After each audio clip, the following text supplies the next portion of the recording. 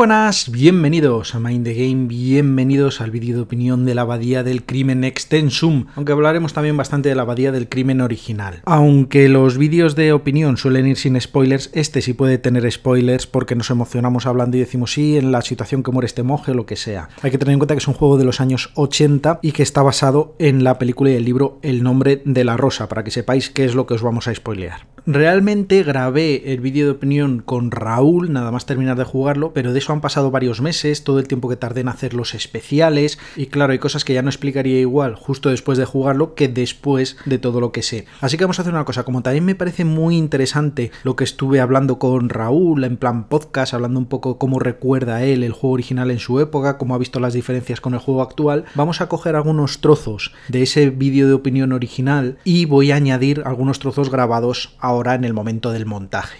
Este juego lo he jugado completo aquí compartiendo con Raúl. Que Hola, lo volvemos Luis, a ¿qué tener tal? Muy buenas. Muy buenas. Y es un juego muy peculiar. Es muy peculiar. A mí me ha, me, me ha gustado mucho porque, sobre todo, yo tengo que decir que vi la película del nombre de la rosa cuando jugamos al primer, a la primera versión del juego de ópera. O sea, empezaste con el juego sin haber visto la película. Yo empecé con el juego sin, sin haber visto la película. Empezamos a jugar eh, porque se lo regalaron a mi primo Ricardo, al que mando un beso muy grande desde aquí, en su Amstrad CPC 464. Y empezamos a jugar al, al juego en las tardes de, en las que teníamos que estar haciendo los deberes, pues nosotros estábamos jugando a, a la Bahía del Crimen. Y bueno, a partir del juego, pues eh, vi la película y recuerdo que en una primera situación me decepcionó la película un montón, porque yo me imaginaba que iba a haber un fiel reflejo de lo que había visto en el juego y nada más lejos de la realidad. No tenía prácticamente nada que ver más que lo que era la, la base del juego. Y sin embargo, el Stensun eh, sí que lo han hecho mucho más basado en la película y tiene no solamente fragmentos de, de la película, como Venancio en la tinaja o, o determinadas Beren- conversaciones. Berenga- La muerte de Berengario también. La muerte de Berengario, la de Severino, la de Malaquías, son todas prácticamente iguales que en la película y entonces pues es muy distinto al, al original en ese sentido porque el primero prácticamente no tiene nada que ver con la película y ese segundo sí que parece que está más basado en las escenas del film de, de Jan Saxa, ¿no? Sí, so- sobre todo es que aquí ves las escenas explícitamente. O sea, te dicen, eh, ha muerto no sé quién, vas hasta la habitación de la cochinera y está el tío ahí metido en la tinaja de sangre con las patas arriba, o está el otro en la bañera y todo eso. En el otro, a lo mejor, morían los mismos el mismo día y todo igual, Sí, sí. pero venía y te decían, oye, que ha muerto no sé quién, y hasta ahí llegaba. Y hasta porque ahí llegaban. No, no había capacidad tampoco para enseñarlo todo, porque estaba esto comprimido en 48K. ¿Tú sabes lo que es 48K? Yo no sé si la gente se hace la idea de lo que son 48K, que estaba el juego metido entero, todo, las instrucciones, los gráficos, la- el comportamiento de los monjes, el- los textos del pergamino, todo. 48K, tú ahora mismo haces una foto y dices, mira, me voy a quedar con el ojo rojo de alguien. Ese ojo rojo ya te ocupa bastante más de 48K, 48K. Es que es, es una barbaridad lo que se podía hacer en la época con tan Sí, poca memoria. Sí, sí, además, además que eh, no tenía, claro, estaba todo tan comprimido que realmente la abadía no tenía prácticamente detalles de nada. Eran las baldosas que tenías que seguirlas muy a rajatabla para que no te quitaran obsequium y cuando era de día era todo amarillo y cuando era de noche era, era, era todo azul. Y la abadía era mucho más, mucho más pequeña, prácticamente te la, te la conocías en un primer vistazo. Sin embargo, en este juego tiene muchísimo más decorado, hay lluvia, hay nieve, sales exteriores, en el otro juego no, Casi no había, sí, han puesto todo No ese patio del pozo, han añadido pues la habitación de las cochiqueras, han añadido los baños, los baños, la- el laboratorio, el laboratorio de Severino. En el primer juego había un poquitas habitaciones. y al- algún pasillo más, es más largo mucho- todo. Muchos más pasillos. Y yo que sé, por ejemplo, en la iglesia estaban todos de pie mirando para el norte y eso era rezar. Y aquí pues tienen cada uno como su asiento, te pones mirando para un lado, es un poquito, esas cosas están distintas. Pero aparte de los cambios, es que es un juego muy peculiar porque estamos acostumbrados a juegos que sabes muy rápido el objetivo. Dices, esto es un juego de plataforma, pues hay que ir para la derecha, saltar encima de los enemigos, esas cosas. Es un juego de tiros, pues lo que se me ponga adelante le pego dos tiros. Es un juego de carreras, pues llegar el primero. Es un juego de fútbol, marcar... es- lo sabes, aquí te sueltan y ¿qué cojones hay que hacer? Sí, porque ni siquiera, ni siquiera llega al, ni siquiera llega a ser la, la- la aventura gráfica de toda la vida, ¿no? No volvías a un decorado, salías a otro, era también cumplir partes muy concretas del, del juego que casi se podía llegar a sacar por deducción. Pero a mí me resultaría, vamos, eh, yo no sé si hay alguien que ha sido capaz de sacar este juego adelante sin guía, pero sacar este juego adelante sin guía. Eh, bueno, cuentan de gente Complicado, ¿eh? yo incluso gente que se ha dedicado a hacer los remakes o que son estudiosos del juego reconocen yo nunca me lo he llegado a pasar me llega hasta el final pero siempre hay una historia que siempre me falta algo y tal y no me lo he pasado la gente que sí que se lo ha pasado y tal contaban pues historias eh, auténticamente de locura de estarse apuntando cosas de hacerse ellos a mano un mapa de la biblioteca al final del juego en plan pues tener una partida guardada justo ahí y todos los días intentar recorrer correr un poco y hacerse un mapa a mano. Eso son noches y noches de, Porque de incluso, insomnio. incluso cuando ya salieron guías en la Micromanía o en distintas revistas, hay una anécdota que es que hicieron los mapas mal para la revista. Uno de los mapas estaba mal y ni con la revista te lo pasaba. Nosotros con la revista llegamos al 99% de la, de la investigación porque no, no teníamos lámpara. Entonces yo creo que el mapa era del laberinto, ¿no? El eh, porque yo recuerdo que la, la revista tenía dos partes, lo que era el mapa de la abadía y luego había Sí. un mapa del laberinto que Sí, sí, nosotros nunca llegamos a... No llegasteis hasta el laberinto porque No. como no había luz no podéis entrar. Además es que entrabas en el laberinto, había luz, andabas un poquito, que decíamos, venga, venga, venga, venga, y te decía el novicio, no hay lámpara. Y te sale el pantallazo, eh, ha llegado al 99% de la investigación. Y, y me acabo de sacar una espina después de 30 años, Luis, porque Claro. no es lo mismo, pero oye, Sí, sí, sí. Uno. Bueno, no, no es lo mismo, pero has visto el pergamino final, has visto que al final el tío ahí se moría cuando lo suyo, tal, esas cosas. Yo creo que la gracia de este juego no es tanto porque no es un juego lineal o tal, sino yo creo que es más la sensación de libertad. Es que es muy difícil entenderlo ahora que sí que hay juegos así. Pero claro, estamos hablando de, un- de unos años, eh, mediados de los 80, donde los juegos eran eso, juegos de plataformillas para la derecha, Pasar muy, muy- muy- pantallas muy- y muy- punto. muy sencillos. Y aquí la sensación era que estaba viva esa abadía, que tú tenías todo un sitio ah, libre por el que mm, moverte andar, moverte y aprender. Y entonces los monjes tienen sus quehaceres. El monje no sé qué, tú ves que el primer día, pues que por las mañanas se A va misa. a donde sea, que por las que luego se va a la cocina, porque su quehacer es ir a la cocina a hacer no sé qué. Y tú puedes seguir a los monjes y ver qué hacen, porque nosotros lo hemos jugado con guía, pero así no es un reflejo de cómo se jugaba, porque la gente no tenía ni idea. ¿Cómo se jugaba esto? Pues así, haciendo, mira, voy a empezar el primer día y voy a seguir a este monje. Te quedabas con la cara a un monje y le voy a seguir a ver qué hace. Y vas a la cocina, no sé qué. Bueno, no parece una chona. Seguías a otro, otro, otro día, o sea, volvías a empezar. sigo a otro. La Hostia, este ha hecho una cosa rara aquí. Me ha dejado un objeto encima de esta mesa. voy a a, ver si es cogerla, a ver qué es. y, claro, y luego te quedabas, no, hay que ir a misa, vale, pero después de misa me voy a ir a esa mesa a ver qué es. Y tú te ibas quedando ahí con pequeños detalles y ya con los objetos que cogías y tal, el juego, si llegas a un sitio que te hacía falta un objeto y no lo tenías, no te decía, bueno, mira, haz las cago antes, nada. Entonces no sabías si te faltaba algo de hacer en ese día o te faltaba algo de hacer tres días antes. Sí, ibas avanzando. Yo, yo recuerdo que ibas avanzando. Lo que pasa que había, había momentos en los que ya no, no, no podías avanzar porque o bien te descubrían por la noche, o bien te descubrían por la noche y decías, joder, es que te salgo por la noche, me echan. Entonces te tiraba los siete días, durmiendo los siete días. Claro, al final hacías un 40% de la investigación porque. Como- la gracia- claro, por, la, por la noche hay que hacer muchas cosas que si no, no claro. Y yo me acuerdo la, la tensión cuando salías por la noche era una tensión casi real, ¿no? Era como si realmente estuvieras haciendo algo malo. Hasta que te cogía el abad y, y cuando conseguías llegar a tu celda y haber cumplido la misión, te sentías realizado, ¿no? Eh, He salido por la noche y no me han pillado.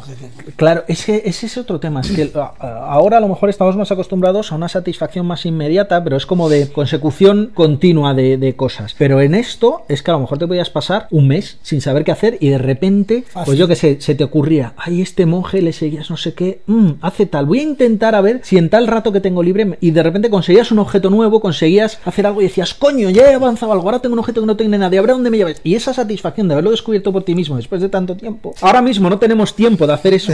Lo- lo- los chavales ahora no tienen tiempo ni paciencia de hacer eso, pero era, un- era una sensación distinta. Era una sensación de satisfacción de decir, he avanzado yo solo, he descubierto esto, lo he descubierto yo, con mi investigación, con mi intento con- cada día de hacer algo distinto, y eso daba la satisfacción pues de que lo lograbas tú solo, pero claro, al final te quedabas estancado y, y no te quedaba más remedio que Sí, no, recurrir no, a ver, es que en este se pasa. eh, o sea, una cosa es en general la intención y otra cosa es que se pasaron tres pueblos. O sea, porque nosotros lo hemos jugado con cosas muy rebajadas. En el original, como llegases un poco tarde, la barra de obsequium volaba de una manera que te cagas a los sitios. Sí, adem- además que además que los eran los cuadraditos del suelo eran totalmente simétricos y claro, tú el primer día no sabías que te tenías que poner un cuadradito constante. Y a ti el abad te decía, ocupar vuestro sitio, Fray Guillermo, ocupar vuestro sitio, Fray Guillermo. Y yo recuerdo las primeras partidas de, de perder el obsequio entero en la primera misa. En no conseguir encontrar tu No sitio. conseguir encontrar tu sitio y decía, pero qué mierda de juego es este, Claro. que, que me echan si yo estoy en misa y estoy con todos estos tíos aquí en misa y te echaban, pero luego ya descubrías que era el puntito, en la comida igual, y como estuvieras un poquito del milímetro del tal, te Y, quitaban y- y bien orientado. Y bien orientado, claro. Porque no es solo estar en el sitio correcto, sino mirando para donde tienes que Donde mirar. tengas que mirar, claro, y claro. que si te pide que le sigas, aquí tiene un pelín más de mano izquierda, pero en el original te dice que me sigas, te separa dos metros Y volvía. el, y el obsequio- vuelve a por ti, el obsequio va bajando, te echaba unas petas. Y en este, en, en el Extensum tienes, digamos, puedes fluctuar un poquito por el pasillo, pero allí no, allí tenías que seguir la misma línea del tío, como te sacara de la línea ya no te dejaba avanzar, el tío volvía, eh, os robo que me sigáis el Guillermo y venga obsequio, y venga obsequio, y venga obsequio, era muy, muy complicado. Y además no te, aquí han metido muchas más pistas. De alguna conversación con Atso que te dice, uy, ¿qué es es eso que brilla ahí? No sé qué. Muchas de esas conversaciones que no estaban en el original y que te dan pistas de por dónde hay que ir. Sí, no, allí, allí hombre, en el juego original eh, sí que te llamaba la atención porque había algo extremadamente distinto en la pantalla que sí que te hacía investigar un poco, ¿no? Pero bueno, no te puedes imaginar también lo que tardamos en descubrir que había determinados objetos que tienes que coger con el novicio. Claro, que es que, eh, Había una dando tecla- hacia abajo, claro, había una- dando hacia abajo, el novicio echaba para adelante y, si- y- y iba en la misma dirección que estuviera mirando Fray Guillermo Claro. y descubrir que con eso, por ejemplo, pues el carboncillo, bueno, el carboncillo no sé si estaba en el original, pero aún, la lámpara, por ejemplo, La lámpara que la tenía que coger el novicio. Claro, los, los guantes, eh, en fin, hay, eh, porque los guantes lo cogía el novicio, creo recordar, hablo muy de En el original, puede ser. En el original. Y, y aquí tenemos eh, también que tienes mapa que te lo va escribiendo el novicio si lo quieres usar, aunque lo hemos usado poco, vas dando al enter y- en el original ni mapa ni hostia, te lo hacías tú en tu casa. Sí. Tienes que el tiempo aquí te espera. O sea, aquí te pilla en mitad de que estás yendo a buscar algo a una mesa, lo que sea, y no salta la misa hasta que no lo has cogido. En el original, tú estabas yendo a por algo y te has enrollado un poco, te has equivocado de camino. Pasaba y misa te- y- pasaba misa y te toma por culo. te sin el objeto y te has sí. cargado la partida, porque Totalmente. necesitas todos los objetos que tuvieras que hacer. Y, y luego, bueno, tú de esto te acordarás o sabrás más que yo. Yo no recuerdo si se podía grabar situaciones en el juego original.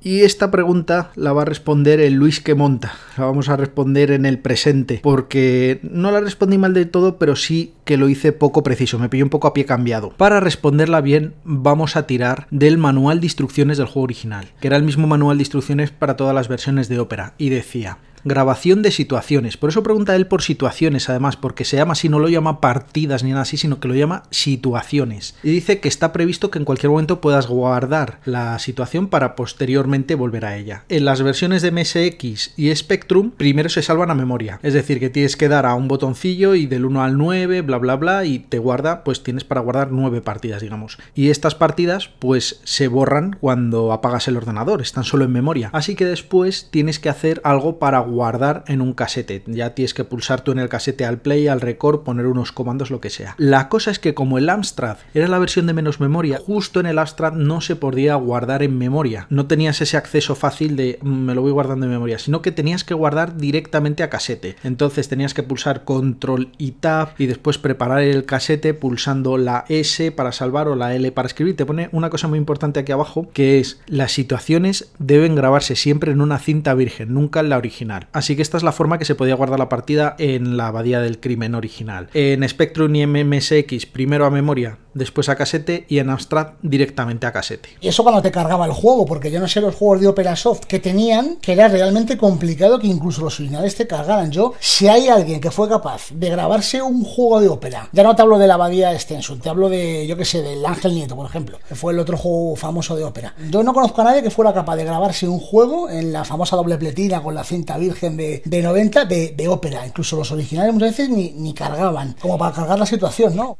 Este remake a mí me parece que gana muchísimo. Todas las caras de los actores, todas las situaciones, todo como está hecho, la música. Hecho en falta que a nosotros, como nos ha molado leerlo y tal, está bien, pero hecho en falta que le hayan metido voces que al final eh, lo estuvieron probando, eh, he visto unas pruebas, pero lo dejaron por falta de tiempo y han puesto así como unos murmullos que yo los he quitado porque distraían más. Lo mismo si estás jugando tú solo no te importa, pero como nosotros íbamos a leer las voces, nos distraían un poco. Desde luego las, las caras de los personajes son los mismos de la son los mismos de la película está realmente conseguidísimo conseguidísimo es decir las- es que las caras son son los personajes de la película No, pero si es que se han tirado una de años. Yo, yo creo que les he vi- visto empezar a hablar de este juego en 2012 y no sé si lo han sacado a final de 2016 o algo así. O sea, pero claro, es gente que tiene su trabajo lo que sea y en el rato libre de por la noche hacen un poquito, tal. Pues así, claro, han tardado muchos sí. años, pero se nota el cariño. Sí, sí, sí, no, y mucho, va, cariño y mucho. Veamos, si yo les recomendaría a la gente después de, de jugar, de ver los, los vídeos que hemos hecho, que se echen un vistazo a la película por encima. Hombre, si la quieren ver, que la vean.